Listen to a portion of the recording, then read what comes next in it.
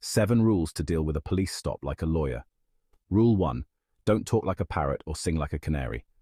Basically, don't talk too much and answer police questions accurately. But if you have nothing good to say, stay silent or just say no comment. Rule 2. Breathe slow, talk slow.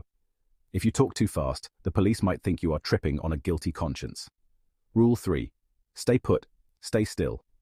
If you are being detained, move fast, and the police have a reason to take you down, so no sudden movements. Rule 4. No comedy, no clowning around. Be serious, or the joke will be on you. Rule 5.